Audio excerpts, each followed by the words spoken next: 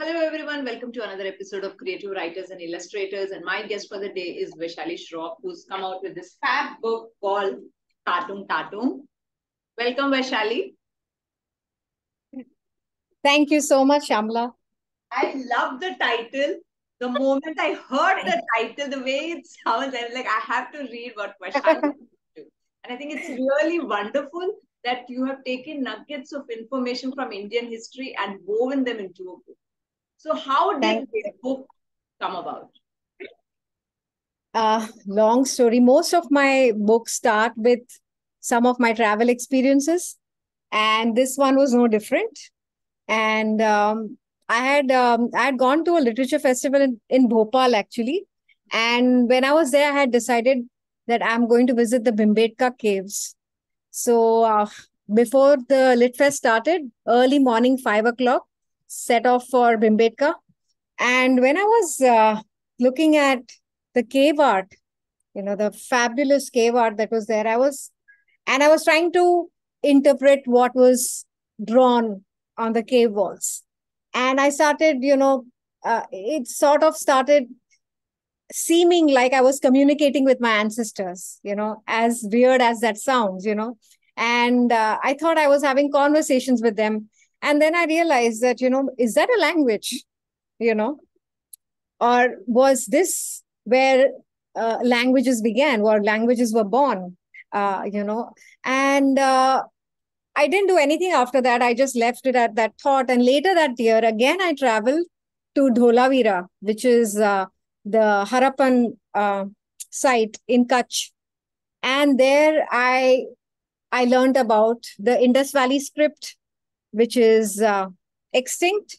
Uh, and I saw the the plaque that they have, the placard they have over there uh, in the script, and and there is there was a prize of ten thousand dollars if anybody can decipher it or anybody can decipher the language. And I'm like, okay, you know, earlier I saw the cave art, which was probably the beginning of languages, and here I am at Dholavira, which is uh, you know, which is where I'm learning about the death of a script or a language. And I'm like, languages are living entities, you know, you know, they they they are born and they grow and evolve like everything else, and they die too. Uh, and I thought that was a that need to be captured. And and I thought there is so much more to languages than just being a communication tool uh, you know and uh, that's where the journey for this book began actually. I never knew i was you know that it was going to be tatung tatung and i never knew the the kind of stories that were going to be a part of this book. I just knew i wanted to write it that's all. So I think before we go further, you should quickly tell our readers what this, this book is all about. Okay, Tatung Tatung and other amazing stories of India's diverse languages published by uh, Penguin India is a book about India's not just linguistic diversity, but dying linguistic diversity. You know, we are a country uh, which has 22 official languages, but we have more than 19,000 mother languages. So while I'm not a purist who says that no, we must speak in our mother language and we must uh, you know, only talk in our state language and things like that. No, I mean, English is my bread and butter. So I will speak in English, I will write in English. And, uh, uh, but at the same time, our, our languages, our mother languages are an emotion, you know, when I, when I tell somebody in my family, came cho, because I'm a Gujarati and, you know, versus saying hello, you know, there's a difference. You feel a connection which you don't feel uh, while you are talking in English.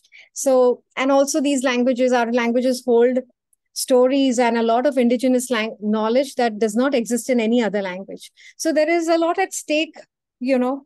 Uh, so this lang- book is important. It's almost like a, a call for action to people that while we go about speaking and communicating in our functional languages, we must put in an effort to protect and preserve our mother languages too. Absolutely. I totally agree with what you say. And I'm very happy you wrote this book because I think it's time somebody did something about it. I mean, people are doing it in uh, bits and pieces, but we need, I think, uh, uh, a nationwide plan to preserve and celebrate the regional languages. And I think whatever we do, it's never enough. You know, there's Correct. there's there's just so much which needs to be done because we are so diverse. Now, uh, in two places in the book, you mentioned the need for inclusion of regional languages. Uh, uh, you know, you said that they they are a must for seeking jobs. Otherwise, uh, you know, uh, people will lose out to dominant Yeah. languages. Yeah. What are your thoughts on this? Okay, so um, socio-economic problems are huge. And language is one subject. It's not just a ling- while we are we linguistics is a science in itself, and you know, languages are are very politically driven.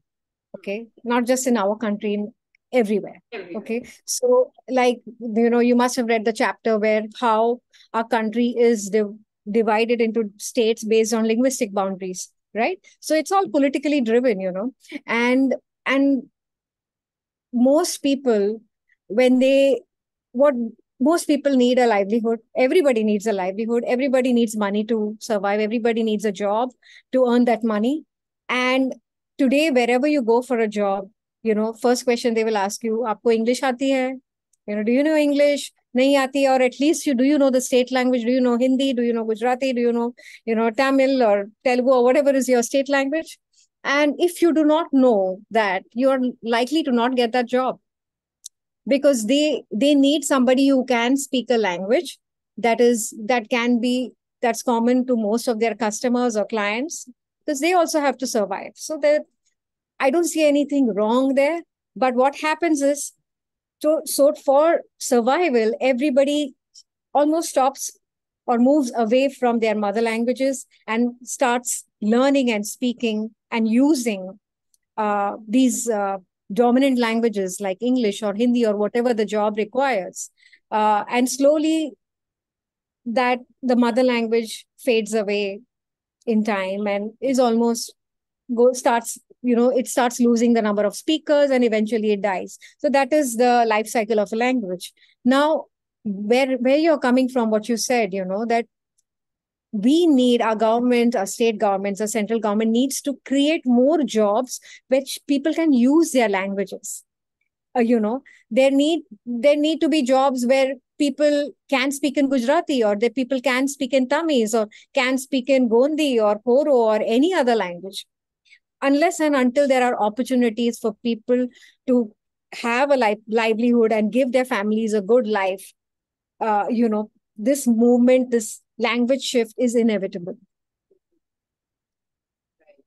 Uh, you know, your book also reveals a connection between uh, Hindustani and Gandhiji's uh, assassination. It also puts a spotlight on regional heroes like uh, Potti Sriramulu, who kind of sacrificed his life uh, uh, for his state.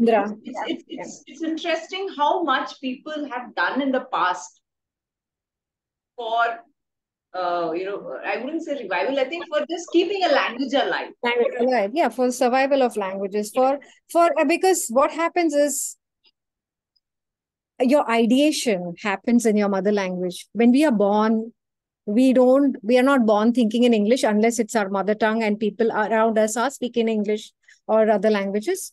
We learn to look at the world around us in our mother language. We start forming our own visual and uh, oral vocabulary in our mother language you know. Mother language is one language that is never taught to us Yes. uh, formally Yes. right?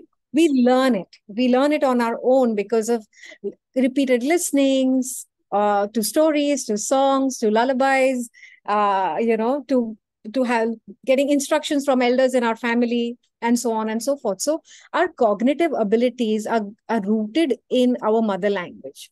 Now suddenly when we have to shift our learning you know that ability suffers so when we are talking about these people you know who have spent their entire life ideating learning uh, you know creating literature and an entire uh, knowledge base in a certain language and then they are asked to move Yes. it's you know it is uh, it goes against our uh, even our constitution that tells us that we have the freedom to express in our own language you know?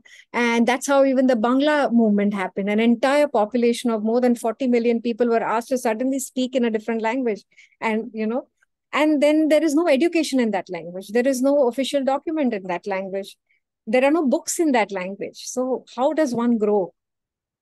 So these people i feel um, were instrumental and in keeping the not only their languages alive they when somebody stands up for their own language you know you're creating uh you know you're you're being a role model for other languages as well you know that if so and in in all my books actually you know whether it is uh, you know the adventures of padma and a blue dinosaur or even sita's chitwan you'll find names of a lot of people because i feel these are the real heroes you know and they will they are so unsung they nobody will ever talk about them or know about them you know whether they are language activists whether they are people who are uh, creating uh, dictionaries in languages that are moribund or going extinct. And uh, so many of these amazing heroes that we need and only because of them that we are still as diverse as we are.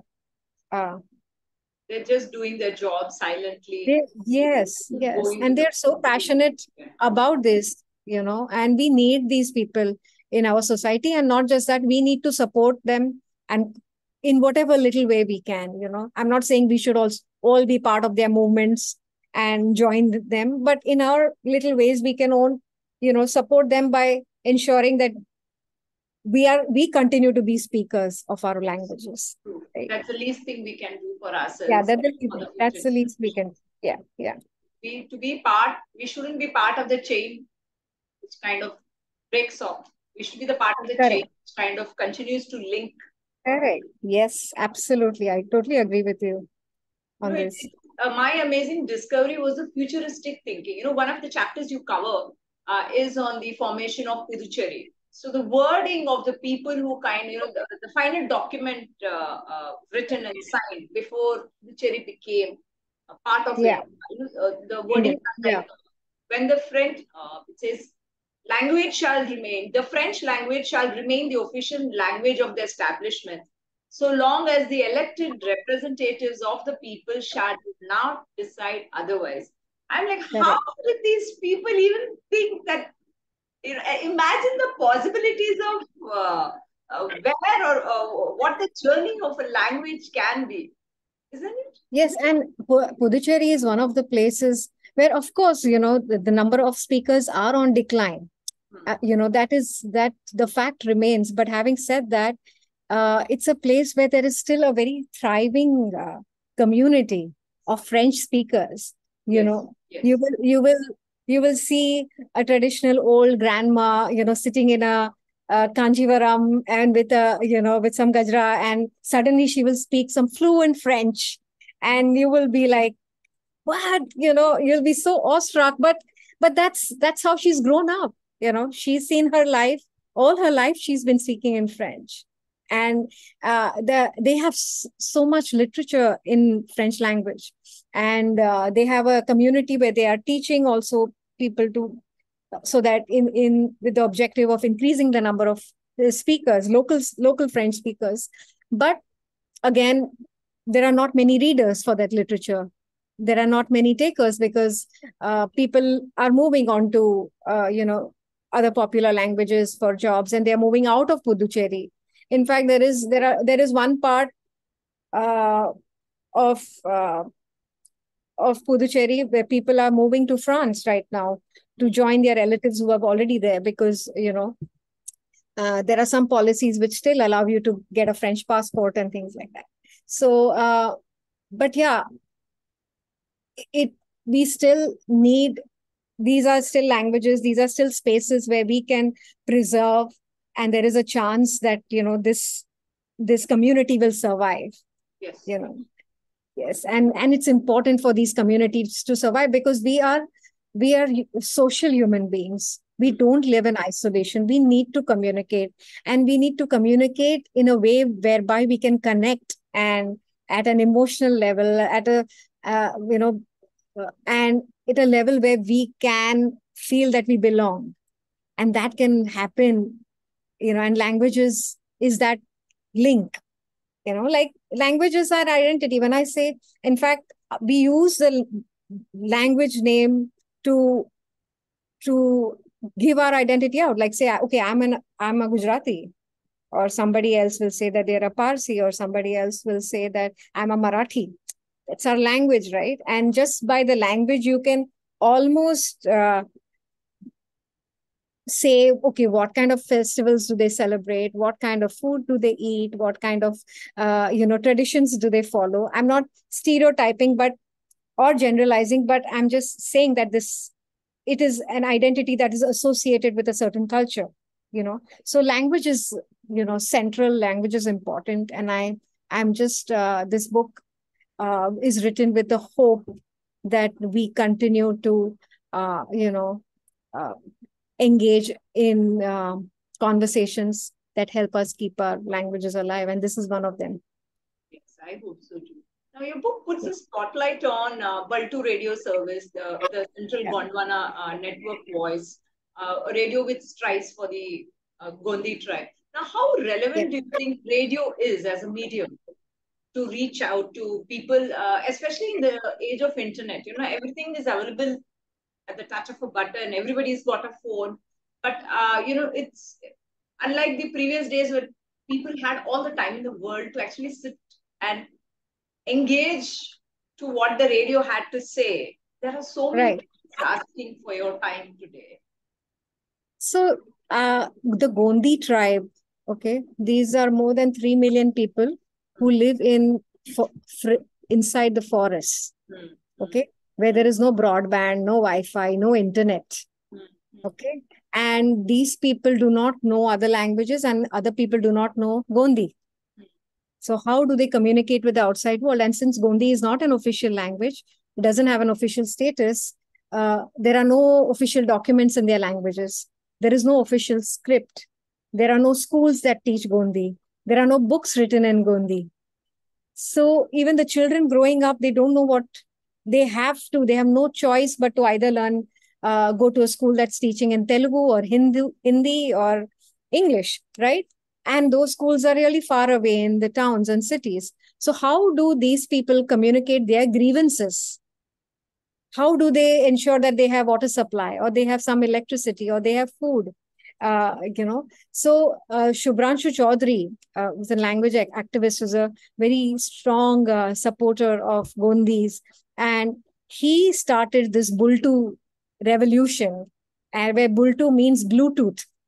So what they do is, uh, you know, anybody, uh, you know, who, who has a complaint or has a problem that needs to be solved, they they just record it using their phone, and it is relayed into their uh, their office, which is a CG Swaranet office, and someone over there receives it and they understand Gondi Mm-hmm. They translate it to other languages like English or Hindi and put it back on their website and say you and I listen to it and we are able to help them.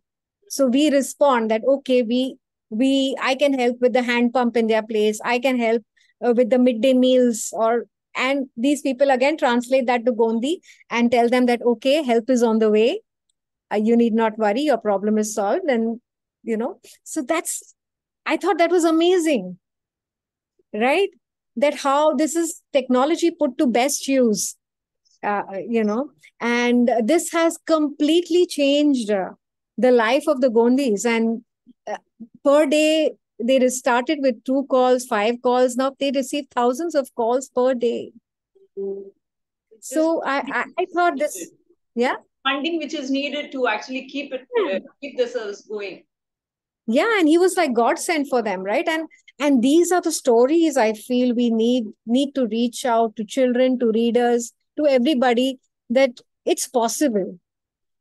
You know that there is there's always hope there is always something that you can do to improve a situation you know and to help people and and um, and this was a brilliant example and not just that they are also creating dictionaries in the Gondi language. They've applied for Gondi to be uh, uh, a, a uh, an official language in our constitution, but we don't know when that will happen. But in the interim, they are they need to make a strong case that yes, we are, you know, millions of people here who speak Gondi, and we deserve an education, we deserve jobs, we deserve uh, a proper livelihood and for you know for all our for our entire community. And we need to be counted because if if i if nobody knows about the gondi language it means that nobody knows about the gondi people. Right? These people don't exist for the rest of the country. Yeah you and that's why existence yes. Yes Yes. and and that that's so it's important that people are aware that there are thousands of other languages uh, and and even and thousands of speaking people speak languages that you don't and but they are people just like you yes. and they need to be acknowledged right so we're running short of uh, time yes. and i would like to read out uh, two passages short passages and you'll have to give a quick reply and then we will disperse okay so okay, okay, uh, okay. you know i i found you shared your thoughts beautifully when you say when we stop narrating stories to the next generation, stop singing songs and humming lullabies to, uh, to babies, the language is on its path to extinction, and the survival of the language rests on the shoulders of the handful of remaining speakers. And the other passage which I liked was In this circle of life and death of these languages, there's much more at stake with the loss of each language than just words and sounds.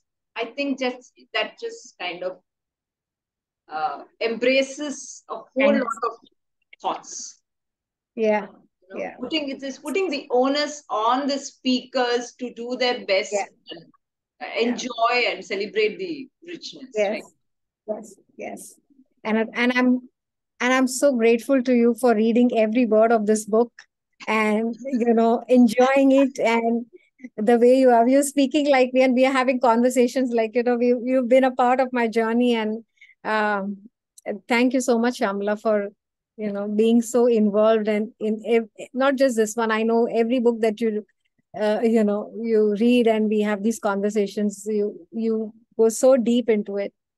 And uh, I really, you, I, I'm really glad you wrote this book. And you know, I, I'm, I'm sorry it took a long time, but what to do? Even uh, uh, you know, all the links you've given at the back of the book, the bibliography is so and then I kind of got diverted into reading those. And you know, the shunting between the bibliography and the main chapters kind of uh, uh, took time. But no, but that's the idea, right? And I'm so glad that you are reading the bibliography because you know that's the actual you, you can only I can only write so much, unfortunately, you know. And and that is why we have these references that no, there's so much more to know and there's so much more to read. Please, you know, please read about, you know, these people who are actually doing the work. I am just, I'm not even an expert.